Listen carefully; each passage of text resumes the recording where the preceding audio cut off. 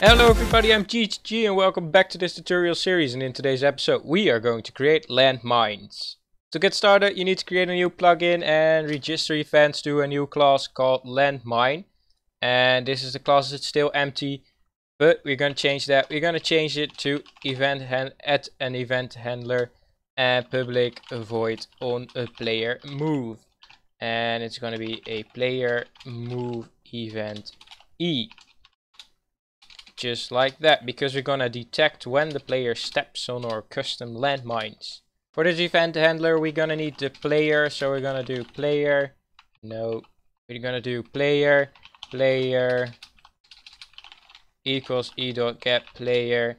And we also gonna need the location of the player so we're gonna do location lock uh, I mean the location of where he is from so we're gonna location from, just shortly f, and e dot get from. It's to be the location where the player is coming from, and location 2 equals e dot get 2. And why do we need these two things? Well, because um, the player is to move, and we do not want to check each time uh, what block he is uh, standing on if he does not change any block uh, if he does not change the block he's standing on. So we're first going to check if he's still standing on the same block. So to do this, we're going to get uh, t, so from dot get block x. Uh, if it equals uh, t dot get block x, then we're on the same block. And then it should also do uh, like those two uh, signs. There are my keyboard shift 7, but probably else on your keyboard uh, indicate that there's a combined if statement. So if we're gonna do get block block y equals equals uh, t dot get block y.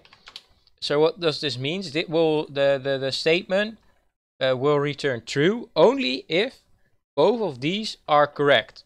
So only if f dot get block x and t dot get block uh, equals t dot get block x and the other statements are true. And we're going to do that the same for the z location equals equals to dot get block z.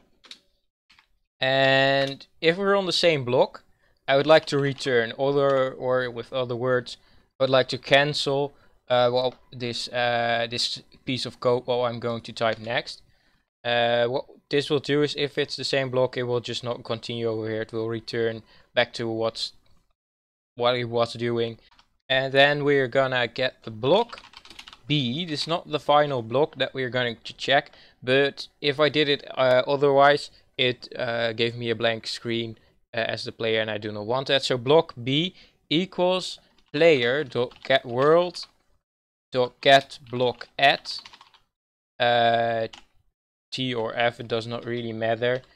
And then we're gonna do block R equals B dot uh, get relative, and then we're gonna do relative uh, this one because then we're gonna do zero, negative two, zero, and then we got the block two uh, blocks underneath, uh, one block underneath the player. So if the player is standing on dirt, the block underneath the dirt, we are getting here and then we want to check if R dot get type equals material dot tnt then we want to do um, player dot get world dot create explosion on the um, player dot get location. So we're gonna also get the player location. So if it equals TNT.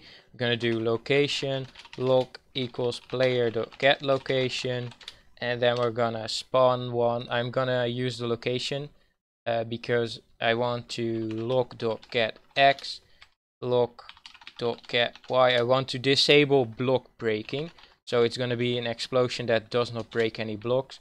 And then we're gonna do the force of two and afterwards we're gonna do uh, false false so that it does not break any blocks. And why does it? Do? Uh, because what this does, it the first false is for uh, whether it set blocks on fire and I'm not want to do that and the second false is whether it uh, actually destroys blocks I do not want to do that as well and the 2 is for the force I'm just going to do it too and what I also want is because we have R and I want to set type uh, to material air because we want to remove the TNT afterwards and that's it as far as our landmine coding goes and let's go check this out on the server, see you over there. So inside Minecraft now, started the server and let's go take a look at our custom landmines. And just dig a hole over here, for example, place TNT, place a block over it, and if some uh, random person would walk over your landmine, he will blow up. And let me just quickly go back into creative again.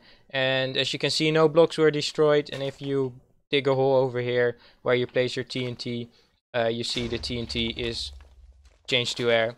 And that's it for today's episode. Hope you enjoyed. If you did, leave a like. If you want to see more, subscribe. Feedback or suggestions.